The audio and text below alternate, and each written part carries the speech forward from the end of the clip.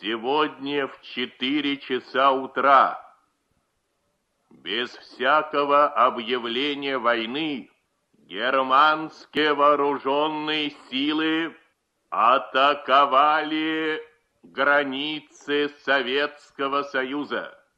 Началась Великая Отечественная война советского народа против немецко-фашистских захватчиков. Наше дело правое, враг будет разбит, победа будет за нами.